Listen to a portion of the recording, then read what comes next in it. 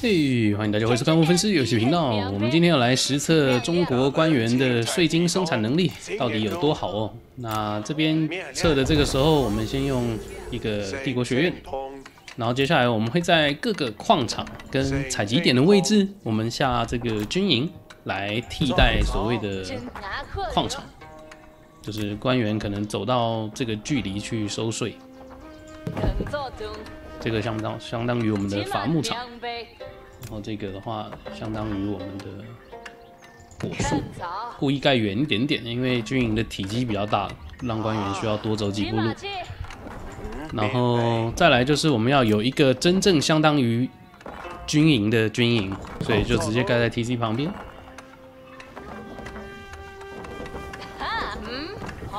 接着我们生产一个官员，然后我们要在这个。时代二进来之后，还要盖一个铁匠铺。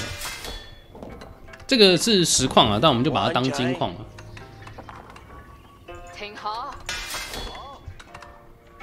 秘书进中，住宿。请闭住校。住宿。好，再来就是盖一个铁匠铺。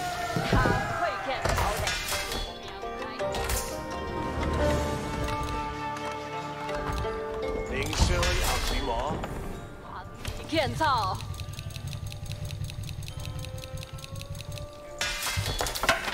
是。警惕继续。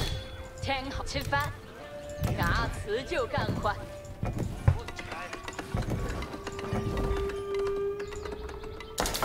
牙齿就继续。记得把官员的自动收税都关掉，不然等一下我们没有税金可以测，如果直接被他拿走。那顺便跟大家讲讲一个资讯哦，就是村民实测的采金速率啊，呃，照官方公告是这个每每秒钟采集零点七五斤哦，所以实际上它应该要在每分钟内可以采集到四十五斤，但实测的结果大约是三十九点五啊，因为。村民在采金矿的时候，即使你的这个矿场已经完美的连接了，它还是会需要投放。我们这里用石头来代替，因为等一下统计每分钟金量的时候，才不会跟官员重叠哦。但给大家看，实际上它的采集率大概就是这个数字。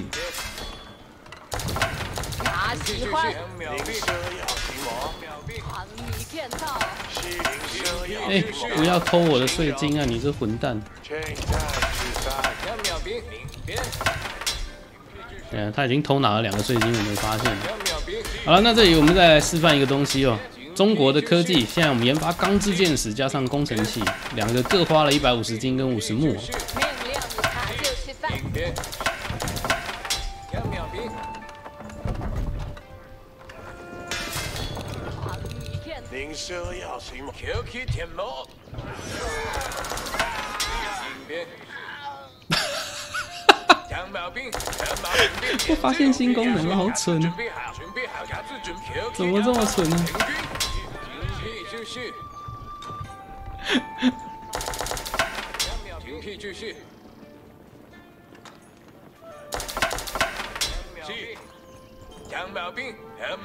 我可以叫他列阵后自杀哎。Shift 的自杀，Shift 的自杀真的是新功能啊！就记得完成你的任务之后再自杀哦。好，那现在这个村民也已经踩很久了，官员在监督军营嘛，所以跟他没有关系哦。但你会看他的每分钟采集量大概就在四十跟三十之间来回跳动，那那个三十持续的时间其实非常非常的短，但你换算回实际采集率的话。它大概是三十九，你看这个三十，可是没几秒之后又会变四十，所以实际平均下来是非常接近四十，但远不及四十五。因为如果是接近四五的话，你会看到会在四十跟五十之间跳。那所以实际采集率没有办法直接用零点七五换算过来，就是因为它在采集这四十的，应该说要采集到这所谓的四十五资源之前，它必须来回放四次。这来回投放四次的过程就就已经让它的这个采集效率下降了。所以村民实际一村采金的话，约莫我们就算宽放一点，约莫最完美的采金效率的话，也是等于一村四十，但实际上大概是三九。然后我们现在要来测官员的税收能力。现在注意是没有帝国考试的状态下，没有帝国考试的状态下，我们放一个官员出来，开启自动税收。其他的官员不管你有几个了，其他的官员正常来讲就是用来监督资源跟军事生产。监督资源自然是在早期是监督食物跟木头最为主。那这两个你监督之后。呃，还是可以造第三个官员出来专门收税。为什么我一直推荐大家要造一个官官员是专门收税？即使你一开始负荷不了也没关系，你要记得用你监督用的官员间歇性的收税，不要就放着税金不拿，因为他在收税的这一段期间可以抵掉大量的采金村民的工作效率。他不止帮你省人口，他的这个吃掉的食物量也比这些村民少。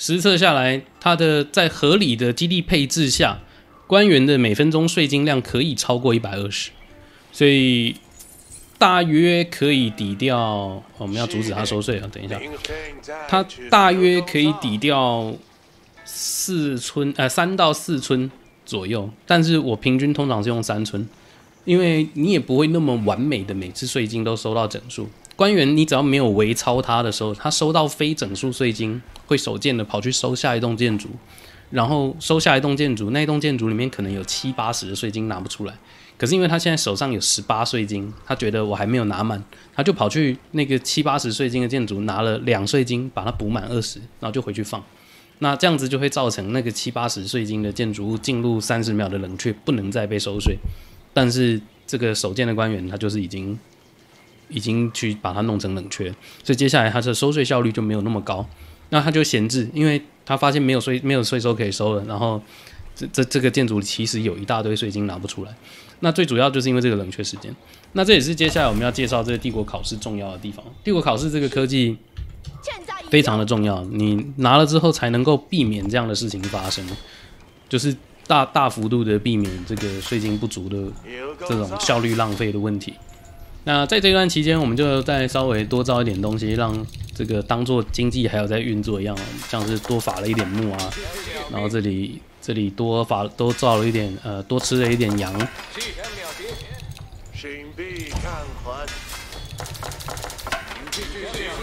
嗯呀，铁匠铺的科税金到现在还没有收完，我只研发两个科技而已。呃，研发两个科技，你知道他总共给我多少税金吗？这个一个科技要跟我们拿一百二十五金嘛？那我们刚才研发两个科技，他给我一百二十八金，所以也就是说，在封建时代的时候，它的所有铁匠铺金黄金消耗自动减半，几乎是自动减半。你只要有把这个税金拿出来，它就是自动减半还你。那在城堡时代的所有这个铁匠铺科技，自动减减四分之一。这到到这样子，几乎都还是有神罗的铁匠铺时代二的强度哦。你只要有把税金拿出来，你不要无视官员的话，一个官员在帝国考试之前，相当于三村以上的采金效率。因为我们在算村民的时候，一村算四十给他，已经是优待他了。可是我们在算官员的时候，呃，算他一百二十，已经是亏待他了，因为他明显超过一百二十一些。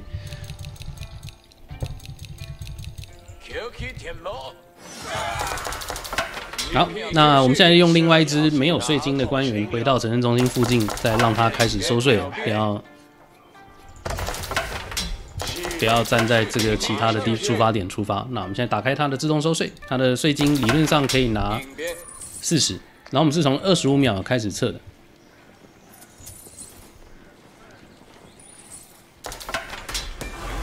呀，这税金永远领不完了，我们可以不用研发。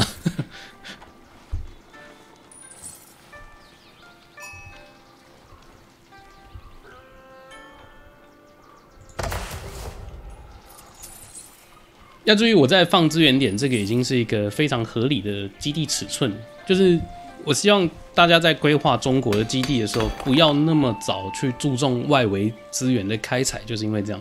因为你的基地越密集，首先有越好防御的这个特性以外，你在官员收税的效率，你愿意把它维持在一定的效率范围内的时候，这个官员直接抵掉，呃，假设他能够翻倍到两百四啊，但现在是超过，这样，他他能够抵掉双倍以上的村民。刚才设的这个三村的话，那他一个人抵六村的收税效率，两百八的话，甚至不是六村了，两百八可以算七村了，对，七四二十八嘛。所以你一个官员在开帝国学院后，加上你打封建时代的这个持续造兵、研发科技，要注意我测试铁匠铺这个科技啊，是包含这个的。是包含经济科技的，并不是只有铁匠铺科技。好，是俺会的，他会更好的。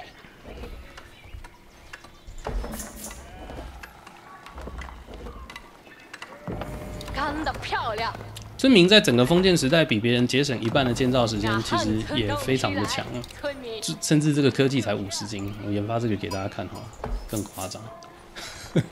真的是更夸张。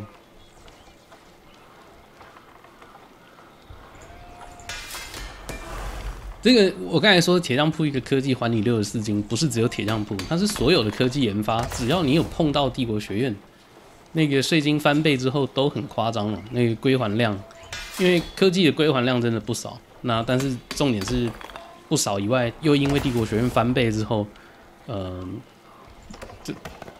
中国有蛮多的这个研发科技几乎等于免黄金啊，所以啊，法国的法国的研发费用减二十五趴好像很 O P 啊，但是你要知道这个黄金的返还量绝对超过法国的减二十五趴。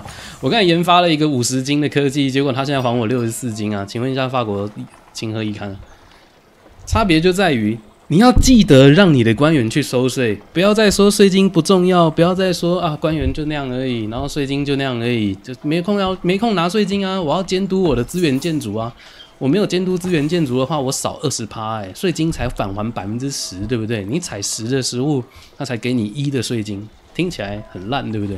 但你到处都有税金，不是只有这个建筑哎。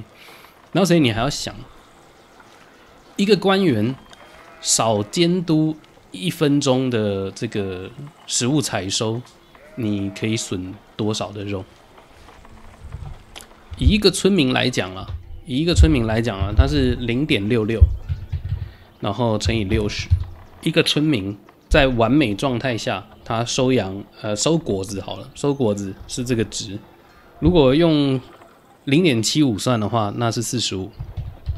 每一个村民每分钟产生。这个四十五的资源量，那四十五资源量，以刚才我实测的这个采石的距离来讲，你就会自动的被降成四十，而不是四十五。那用四十来算，我用假设七个村民在弄磨坊，在在收养，所以我我舍不得放开，我要监督它，才能够让这个磨坊的资源产量加百分之二十。所以四十四十每村，四十每村，然后乘以七，等于两百八十的这个资源产量，然后我们再把它除以十乘以二，等于我们多拿到了，就是每分钟多拿到了十四十四十四的食物。我官员就站在那里监督他，让我多拿到了十四的食物。然后，因为这个多拿到的 多拿到的十四食物，我没有去收每分钟给我一百二十的税金，不觉得亏大了吗？那更不用讲，我们之前教过大家的，把你一开始采阳的村民编号，在你的官员要去执行收税任务之前，选他们放，然后收税。那官员去执行这些放税金的任务的时候，你的村民还在工作啊，你的村民还在工作，那你并没有错过刚才那一次的资源投递，就已经不亏了。以以我们之前示范的那个磨坊来讲的话，它应该是大概这个距离啊。官员只需要走走这个兵营到到 TC 的距离，所以你是绝对不可能在早期错错过收税的。所以即使到后来我少我去收税的期间多拿了可能呃两百的税金，可是我错过了两轮的资源投放，好了，两轮的资源投放才多少？七村的两轮资源投放才一百四十，也就是刚才算的十四的一半，所以我只错过了七的税金，更少，就根本不重要，应该不能说根本不重要，只是说那个代价跟税金之间完全不能比，所以务必要记得把你监督的官员要偶尔中断去做收税的工作。如果你发现你的税金真的太多，税金真的产能非常非常的高。中国，你要是没有在前期去使用税金的话，你错过的前期经济优势非常的巨大。那我希望这一次的实测，我们测的这一段时间是真的对大家有帮助的。在没有帝国考试的情况下，税金也有一百每分钟一百二十的潜能。这每分钟一百二十，只是你没有办法持续的挖，因为你没有一直在爆兵，你没有一直在造单位的话，你是不会有这么多税金可以收。单纯的靠采集资源产生的十趴是不够你维持一直采集，但是，一旦上了这个帝国学院之后，也就是说，从封建时代你开帝国学院开始，你会有非常多的建筑产生双倍税金，这个税金的产生速度就会非常的快。然后再来就是研发科技的时候，会还给你这些黄金，就是要想科技黄金半价，甚至超过半价。是非常非常强的这个经济加成，就只差在你去把税金拿回来而已。你要是不愿意去拿的话，你要是不愿意拿帝国考试的话，你就永远体验不到这个税金的加成到底有多强。那我们这次的实测就跟大家做到这边，希望大家觉得今天给大家的内容是非常有帮助的。我们下次再见喽，拜拜。